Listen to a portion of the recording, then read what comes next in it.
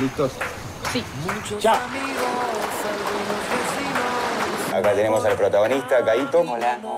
En esta película, Caito va a tener un padre, interpretado por un actor. Che, de la peli, ¿qué pensás? Va a estar buena, me divierte. A mí me gustaría que la disfrutes.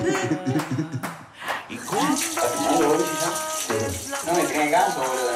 Nuestras primeras vacaciones en el mar fue en el verano del 85. Fuimos, bueno, toda la familia completa, mi mamá, Alicia, mi papá Néstor, mi hermano Federico, Caito y yo. Y bueno, ahí empezamos a notar mis primeras dificultades que se notaban al tratar de subir las escaleras de los colectivos. Bueno, ahí empezó un poco todo, mi, mi problema, mi enfermedad.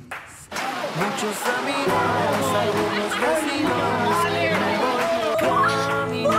Kai te había contado que él le gustaría ser padre y si fuera padre, le gustaría ser una nena. Caminando a tu casa.